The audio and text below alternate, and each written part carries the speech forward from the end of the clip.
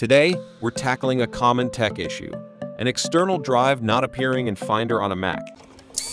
Hey everyone, and welcome back to the channel.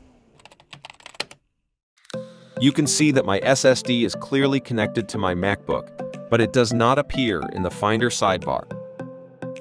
Here are a few possibilities for the external hard drive not being recognized issue.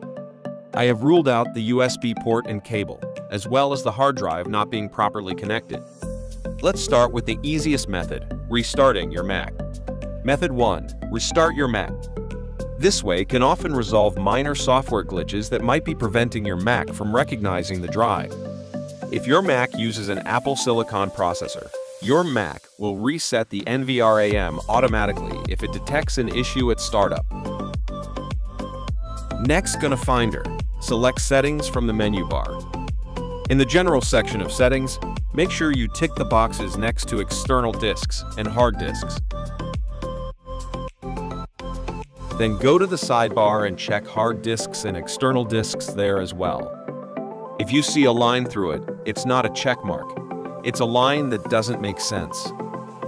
Click it. Boom! Now your SDs and other drives will appear. If you still don't see your SSD in Finder, try to check Disk Utility. To do this, press Command and Spacebar on the keyboard. Then type in Disk Utility and choose it. You may see your drive appear on the sidebar. If that's the case, that's easy. Right, click it and select Show in Finder. And there you go.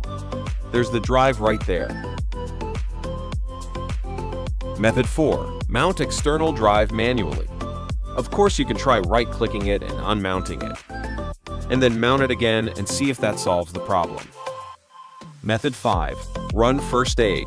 Click on the disk, make sure it's mounted, then click on first aid on the upper left corner. Click Run to proceed. Click Done when it's finished. Finally go back to Finder and see if you can see it there. If the problem has not been solved, then I recommend you guys to try checking your USB cable and replacing it if possible. You may find a huge difference. Method 6. How to recover data from a crash drive. So, you've gone through all the steps, and your Mac still isn't recognizing your external hard drive?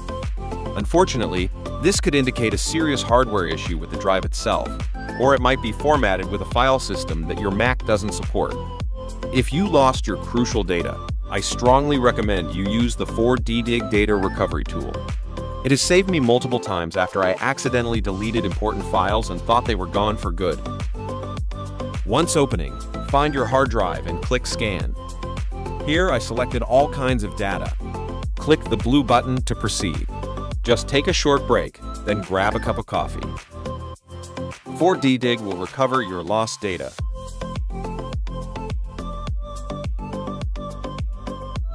It's that simple. Well, that's it for today.